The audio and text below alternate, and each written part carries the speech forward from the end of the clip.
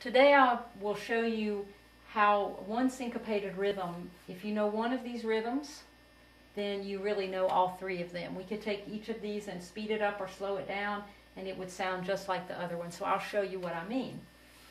This is, um, the time signatures I have here are all simple time. The beat is divided into two equal parts. And each of our patterns has a short note, a long note, and a short note. The short note, two of the short notes make one of the long note.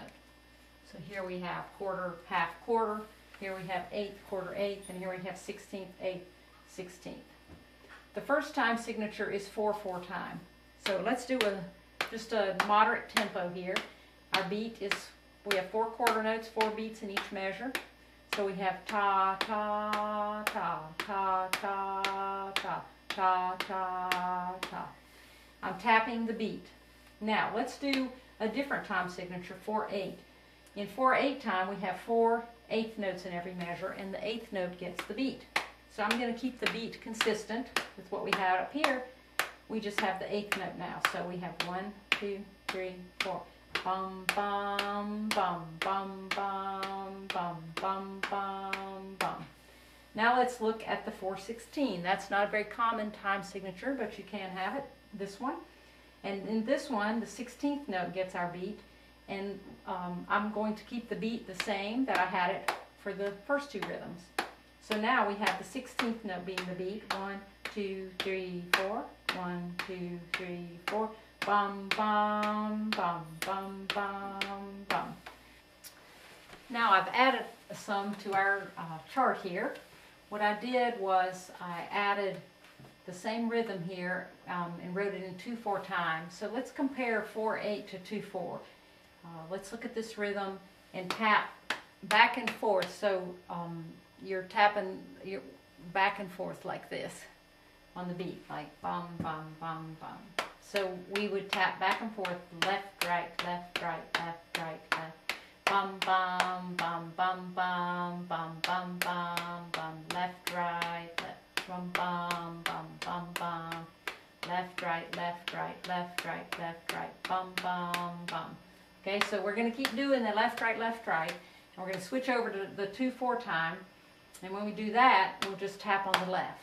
So we're going from bum bum bum bum bum bum bum bum bum bum bum bum bum bum left left left left left right left right left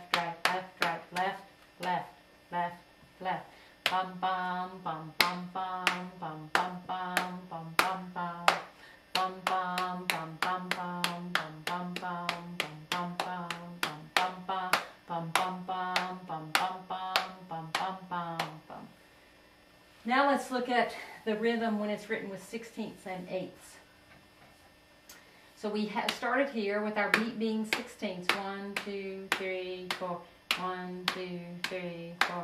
Bum, bum, bum, bum, bum, bum. Let's do it now with the eighth note being the beat. So we're going to go back and forth, left, right, left, right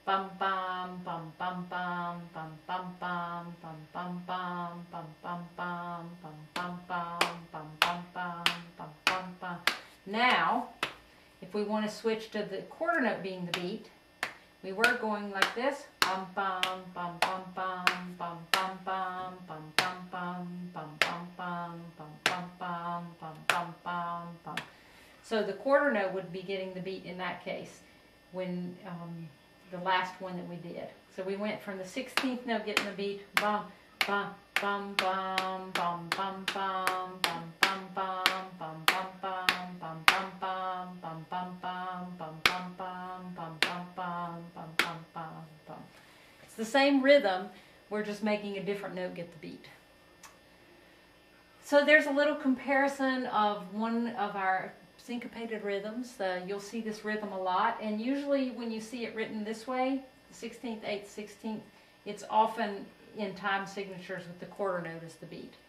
And this rhythm is often seen, well, it could be seen in where the quarter note is the beat also. This rhythm doesn't really feel very syncopated, um, but it, if it was going really fast, it might feel syncopated. Um, that's all for today.